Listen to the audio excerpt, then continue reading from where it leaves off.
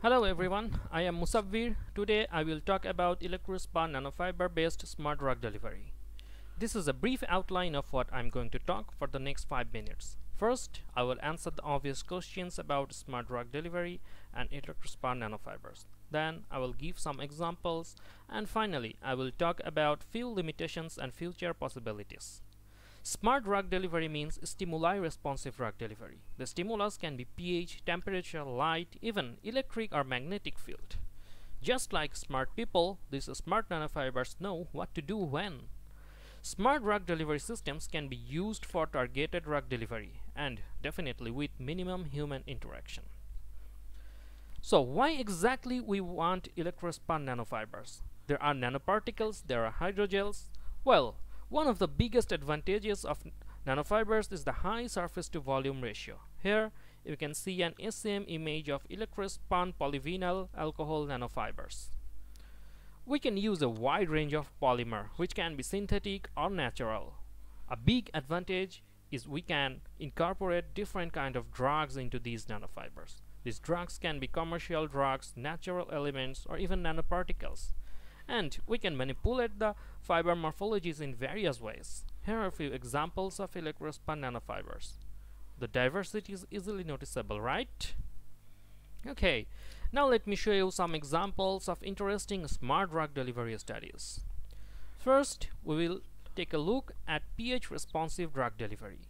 Different parts of our body have different pH. Any alteration means abnormality.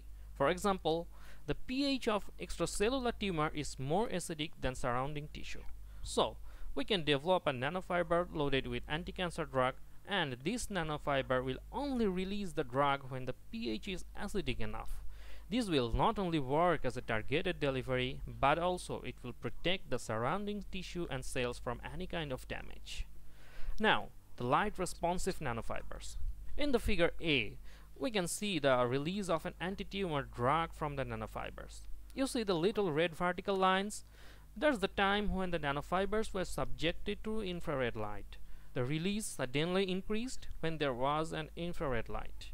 These light-responsive nanofibers loaded with anti-tumor drug have been characterized and shown excellent efficiency against tumor cells.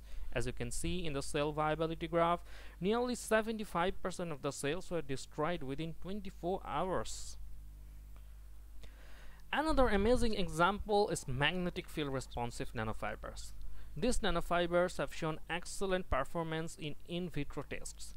You can see both of IL-1 beta and MCP1 proteins were reduced in the magnetic responsive fibers in the presence of a magnetic field.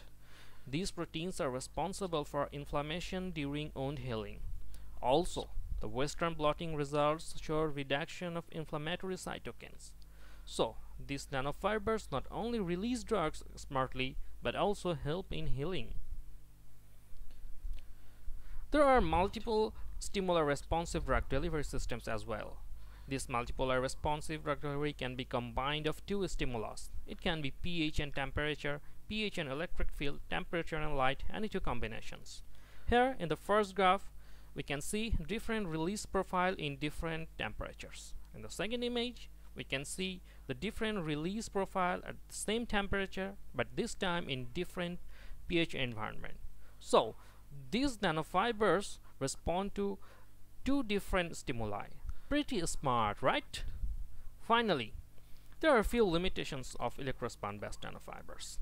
Proteins are difficult to electrospun as proteins tend to denature during electrospinning process. Another important limitation is cytotoxicity mechanism of the nanofibers which is not well understood yet. Also, most of the studies are conducted in simulated environments. More animal model studies are needed for better understanding of the in vivo performance of drug-loaded nanofibers. And different delivery routes should be examined. As the nanofibers are fabricated as mats or matrix, there are limitations in oral and ocular delivery routes. Exploring different routes can be more beneficial in various applications. Here are the references from where I have taken help to prepare this video. Thank you everyone for watching.